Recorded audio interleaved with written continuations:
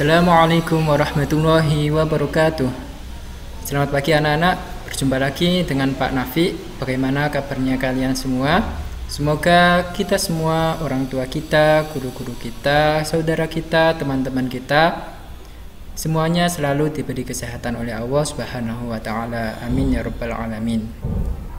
Pada pertemuan kali ini kita akan belajar mata pelajaran fikih yaitu tentang sholat duha. Sebelum kita memulai pelajaran, seperti biasa kita berdoa terlebih dahulu dengan harapan semoga apa yang akan kita pelajari ini diberi kemudahan dan kefahaman oleh Allah Subhanahu wa taala. Amin ya rabbal alamin. الفاتحة إلى روح سيدنا وحبيبنا وشفيعنا وقرة أعيننا محمد صلى الله عليه وسلم وآله وصحبه وسائر الأنبياء والمرسلين وعباد الصالحين لهم الفاتحة أعوذ بالله من الشيطان الرجيم. بسم الله الرحمن الرحيم. الحمد لله رب العالمين. الرحمن الرحيم. مالك يوم الدين. إياك نعبد وإياك نستعين. اهدنا الصراط المستقيم. صراط الذين أنعمت عليهم غير المغضوب عليهم ولا الضالين. رب اغفر لي ولوالدي وللمؤمنين آمين. بسم الله الرحمن الرحيم. Rabbi syrah li sadri wa yassir li amri wahlul 'uqdatam min lisani yafqahu qawli. Raditu billahi rabba wa bil islami dina wa bi muhammadin nabiya wa rasula. Rabbi zidni ilma warzuqni fahma. Amin, amin, amin. Ya Rabbal Alamin. Baik, selanjutnya kita akan masuk pada pembahasan tentang sholat duha. Apa sih pengertian sholat duha? Sholat duha adalah sholat sunnah yang dikerjakan seorang muslim ketika waktu duha. Nah, waktu duha itu kapan? Waktu duha adalah waktu ketika matahari mulai naik kurang lebih tujuh hasta sejak terbitnya hingga menjelang waktu zuhur. Kemudian berapa kira-kira rokaatnya?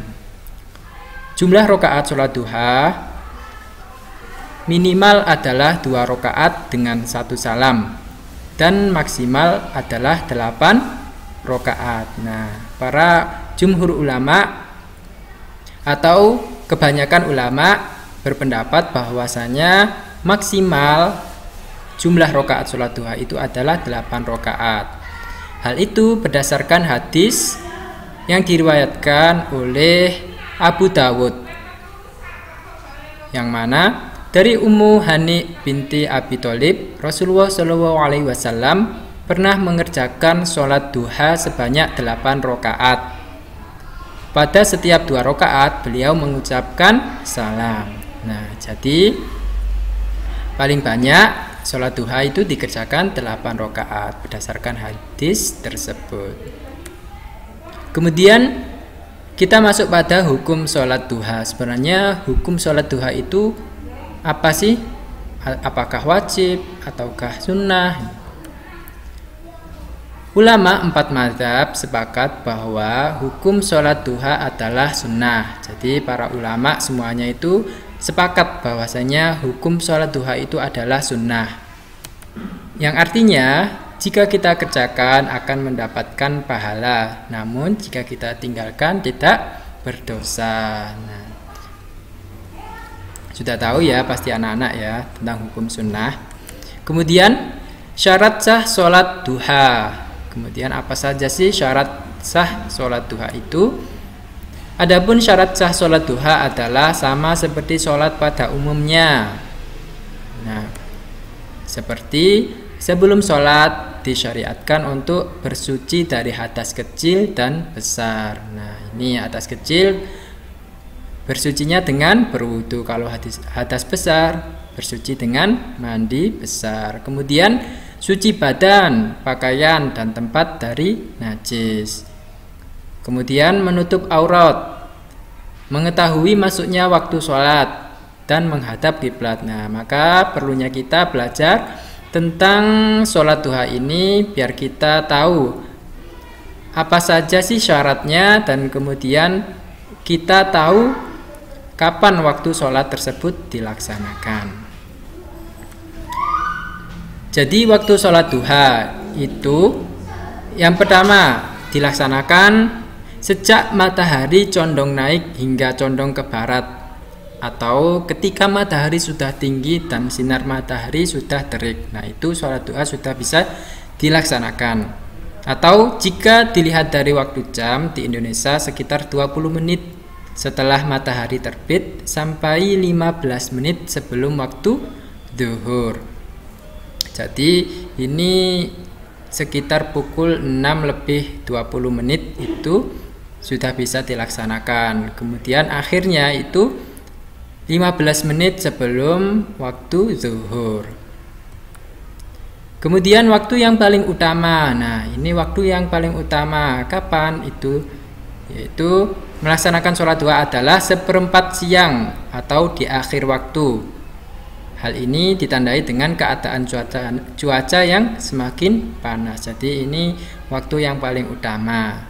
Nah, misalkan kita tidak bisa mengerjakan di waktu tersebut, nah, yang penting kita tahu di waktu apa saja kita bisa melaksanakan sholat duha biasanya kita mungkin pagi ya nggak apa-apa bisanya kita pagi atau jam berapa yang penting jangan sampai di luar waktu yang telah ditentukan. Nanti sholatnya jadi juga tidak sah. Kemudian tata cara sholat duha. Nah apa saja sih tata cara sholat duha? Yang pastinya tata caranya itu sama seperti sholat yang lainnya. Apa saja? Yang pertama, berdiri sempurna menghadap kiblat bagi orang yang mampu berdiri atau tidak dalam keadaan sakit. Jadi, bagi kita yang keadaannya tidak sakit, kita diwajibkan untuk berdiri dan menghadap kiblat. Kemudian niat Nah, ini niat yang paling utama. Niat sholat duha dan takbiratul ikhram atau dibarengi dengan takbiratul ikhram yaitu Allahu Akbar. Ketika kita mengangkat tangan dengan melafalkan Allahu Akbar Nah, itu dengan barengan niat. Kalau lafalnya itu sebelum takbiratul ikhram. Jadi lafal dulu kemudian kita mengangkat tangan melafalkan Allahu Akbar kemudian niat itu dalam hati kita niatkan ketiga ketika bersedekap telapak tangan kiri diletakkan di atas pusar telapak kanan telapak kanan di atas pergelangan tangan kiri. Nah, jadi telapak tangan kiri ini diletakkan di atas pusar. Ya terus kemudian telapak kanan di atas pergelangan tangan kiri. Jadi jangan terbalik tangan kiri yang di atasnya tangan kanan ya. Jadi harus diingat bahwasanya tangan kanannya yang di atas tangan kiri pergelangan tangan kiri dan diletakkan di atas pusar Kemudian yang keempat dalam keadaan bersedekap kita membaca doa iftitah, surat Al-Fatihah dan surat atau ayat Al-Qur'an atau ayat surat pendek-pendek. Nah. Kemudian ruku dengan membaca doa ruku. Nah, anak-anak pasti juga tahu ya doanya ruku. Subhana rabbiyal azimi wa bihamdi tiga kali.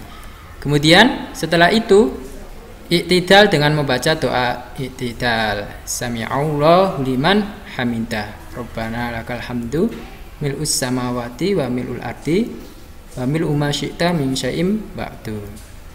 Kemudian sujud dengan membaca doa sujud. Subhana rabbiyal a'la wa bihamdihi. Tiga kali juga. Jangan lupa tumak ninah ya. Nah, ini juga termasuk dalam uh, rukunya sholat tumak ninah jangan sampai geraknya cepat sampai tumak ninahnya hilang. Tumak ninah itu apa? Berhenti sejenak di antara dua sujud tadi ya. Setelah sujudnya, ketika sujud, ketika duduk juga tumak ninah. Jangan langsung sujud, duduk, sujud lagi gitu. Pasti anak-anak juga tahu ya. Kemudian duduk di antara dua sujud dengan membaca doa duduk. Nah, ini maksudnya juga ini membaca Rabbi firli warhamni wajibuni warfa'ni warzuqni wahdini wa'afini wa'fu. Kemudian sujud kedua sambil membaca doa sujud. Nah, setelah sujud yang pertama, kemudian tadi duduk kemudian sujud lagi tetap bacaannya sujud subhana rabbiyal ala wa bihamdihi jangan sampai kebalik dengan bacaan rukuk ya. Kalau rukuk subhana rabbiyal azimi. Kalau yang sujud subhana rabbiyal a'la. Tiga kali. Nah setelah sujud yang kedua kemudian berdiri untuk melakukan rokaat kedua. Sebagaimana rokaat pertama. Jadi yang tadi disebutkan kalau sholat duha itu minimal dua rokaat. Nah tadi yang dijelaskan sudah dari takbir kemudian sujud kemudian berdiri lagi dan sampai akhir tahiyat nanti juga sama seperti yang rokaat pertama tadi. Yang ke sebelas duduk tahiyat akhir. Nah, ini yang terakhir duduk tahiyat akhir dengan membaca tasyahud akhir ini ketika kita mengakhiri rokaat yang kedua nah ini yang terakhir membaca salam pertama dengan menoleh ke kanan. Assalamualaikum warahmatullahi dan salam kedua dengan menoleh ke kiri. Assalamualaikum warahmatullahi nah ini tata cara sholat duha. Nah tidak beda dengan sholat fardu yang kita lakukan. Nah yang perbedaannya mungkin di rokaat sama niatnya. Kemudian apa niat sholat duha nah anak-anak ini pasti hafal ya yang yang biasa kita lakukan sholat sunnah duha pastinya juga sudah hafal niatnya bagi yang belum hafal di, diharuskan diharapkan bisa menghafalkannya bagi yang yang sudah Jangan sampai lupa. Ini niat sholat duha. Usolli sunnata duha ini lillahi ta'ala.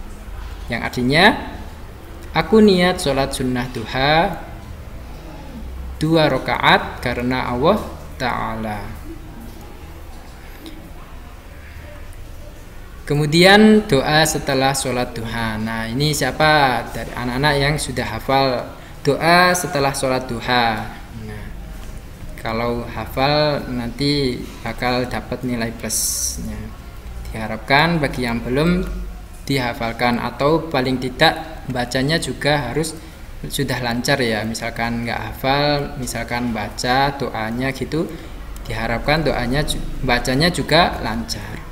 Nah ini doa sholat duha. Kita baca ya. Bismillahirrahmanirrahim. Allahumma inna duha duhauka wal baha'a bahauka wal jamala jamaluka wal quwwata quwwatuka wal qudrata qudratuka wal ismata ismatuka. Allahumma in kana rizqi fis samai fa anzilhu wa in kana fil ardi fa akhrijhu wa in kana mu'siran fayassirhu wa in kana haraman fatahhirhu wa in kana ba'idan faqribhu bihaqqi duhaika wa bahaika wa jamalika wa quwwatika wa qudratika atini ma ataita ibadakas sholihin amin ya rabbal alamin. Kemudian keutamaan sholat duha. Nah ini sebagai motivasi kita agar kita senang melaksanakan sholat duha. Apa saja keutamaan sholat sunnah duha? Yang pertama, merupakan amalan harian yang diwasiatkan Rasulullah Shallallahu Alaihi Wasallam. Dari Abu Hurairah radhiyallahu an, kekasihku Rasulullah Shallallahu Alaihi Wasallam mewasiatkan tiga hal padaku. Berpuasa tiga hari setiap bulannya, melaksanakan sholat duha dua rakaat dan sholat witir sebelum tidur. Nah, jadi ini sholat duha merupakan amalan yang diwasiatkan Rasulullah Shallallahu Alaihi Wasallam atau yang dianjurkan oleh Rasulullah Shallallahu Alaihi Wasallam. Ada tiga termasuk salah satunya adalah sholat duha. Kemudian dua rakaat sholat duha sama nilainya dengan sedekah atau sodako setiap pagi, setiap ruas anggota badan kalian wajib dikeluarkan sodakohnya. Setiap tasbih adalah sodakoh, setiap tahmid adalah sodakoh, setiap tahlil adalah sodakoh, setiap takbir adalah sodakoh, menyuruh kebaikan adalah sodakoh, dan melarang berbuat mungkar adalah sodakoh. Semua itu dapat diganti dengan sholat duha dua rakaat. Nah, jadi setiap harinya itu kita diwajibkan mengeluarkan sodako. Nah, itu bisa kita lakukan dengan dua rakaat sholat sunat duha. Nah, itu kita sudah bisa istilahnya bisa kita mengeluarkan sodako. Sebagaimana yang disebutkan. Terus sholat duha adalah sholatnya orang-orang yang taat terhadap perintah Allah. Nah, pastinya ya orang yang taat itu tidak hanya mengerjakan sholat fardunya saja, bahkan dengan sholat sunnah-sunnahnya pun orang yang taat atau dekat dengan Allah itu terus melaksanakannya. Yang selanjutnya, empat rakaat sholat duha akan membawa kecukupan. Nah, ini berdasarkan hadis Sesungguhnya Allah Ta'ala berfirman Wahai anak Adam, janganlah engkau luput dari empat rakaat di awal harimu. Niscaya aku cukupkan untukmu di sepanjang hari itu. Nah, jadi ketika kita melaksanakan empat rakaat sholat duha, Allah telah mencukupkan, Allah akan mencukupkan di sepanjang hari yang kita lewati. Dicukupkan apa saja? Nah ini banyak sekali ya. Bisa dicukupkan rezeki nah, kesehatan atau mungkin dilancarkan urusannya. Nah jadi empat rokaat apalagi jika kita melaksanakan delapan rokaat sholat duha. Nah jadi tapi kita tetap ya semampu kita. Misalkan kita bisa melaksanakan dua rakaat atau empat rakaat tidak masalah. Yang penting kita terus istiqomah melaksanakannya. Bagus lagi jika kita bisa melaksanakan delapan rakaat tersebut. Kemudian pahala sama dengan umroh. Nah ini jadi sholat duha ini eh, keutamaannya salah satunya itu pahalanya itu sama dengan umroh. Nah, begitu istimewanya sholat duha. Jadi barang siapa mengerjakan sholat subuh di masjid, kemudian dia tetap berdiam di masjid sampai melaksanakan sholat duha, maka seperti mendapat pahala orang yang berhaji atau umroh secara sempurna. Jadi biar kita dapat pahala sebagaimana orang umroh dengan melaksanakan sholat duha, jadi kita itu yang pertama yaitu sholat subuh berjamaah di masjid. Nah, kemudian jika kita waktunya kosong, nah, kita kemudian tetap berdiam atau iktikaf di masjid menunggu sampai melaksanakan sholat duha sampai waktu duha itu bisa dilaksanakan. Kemudian kita melaksanakan sholat duha tersebut. Nah itu ganjarannya atau pahalanya sama dengan Eh, sama seperti umroh ini begitu banyak keutamaan sholat duha dan masih banyak lagi keutamaan lainnya nah, yang paling penting kita harus tahu bagaimana tata cara melaksanakan sholat duha bagaimana bagaimana kapan waktunya juga? Nah kita belajar dahulu. Kita harus tahu ilmunya dahulu kemudian kita mempraktekkan dalam keseharian kita. Nah pastinya anak-anak sudah ya sudah ada jadwal di tiap harinya mengerjakan sholat duha. Nah dengan pembahasan kali ini mengenai sholat duha kita semakin tahu dan kita semakin semangat lagi untuk mengerjakan sholat sunnah duha. Mungkin cukup sekian dari pertemuan kali ini. Semoga apa yang telah kita pelajari ini bisa bermanfaat dan bisa kita terapkan. Tetap semangat, tetap jaga kesehatan. Jangan lupa untuk mengerjakan tugas hariannya Apabila ada salah kata atau kurang lebihnya, Bapak minta maaf. Saya akhiri. Assalamualaikum warahmatullahi wabarakatuh.